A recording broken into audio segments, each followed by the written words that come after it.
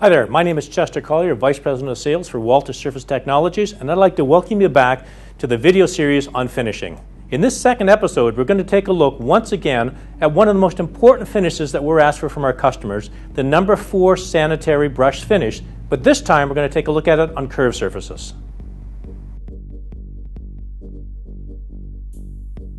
As with flat surfaces, this type of finish can be found in a number of various applications, such as the food and beverage industry, ornamental iron and railing shops, and the pharmaceutical industry. Now here are the products that you'll still need to get. You'll need a Big Buff 3 circular finishing tool, the EnduroFlex 2-in-1 disc, a Blendex U cup disc, and a Blendex T-Lock belt medium grit. Step 1.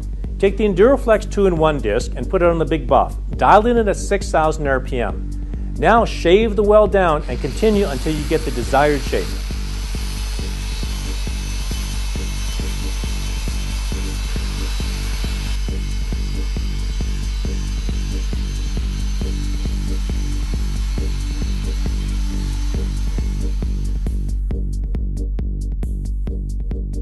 Step 2. Take the Blendex U cup disc and put it on the Big Buff and dial it in at 5,000 RPM. Now take this and remove all the scratches left from the previous step.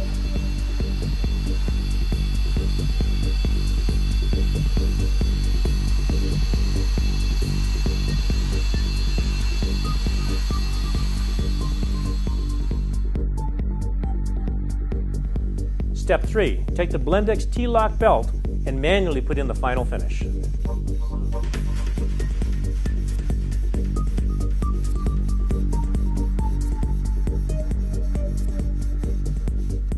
As an option, you can use the Blendex T-Lock belt, put it on a belt drive roller on the Line-Mate, dial in at 2000 RPM, and put in that finish even faster.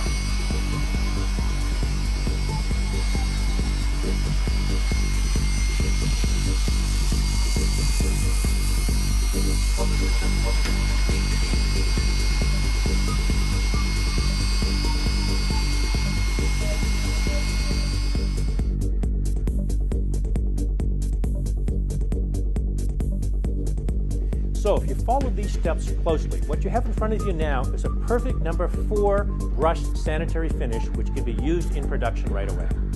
So it's as easy as that. Just three simple steps taking you from a raw unfinished weld to a perfect number four brushed sanitary finish ready to be used in production. Thanks for your attention today. We hope this video will allow you to get that number four sanitary finish on curved surfaces perfectly and confidently every single time. Now, stay tuned for our next video where we're going to show you how to get a number 8 mirror finish.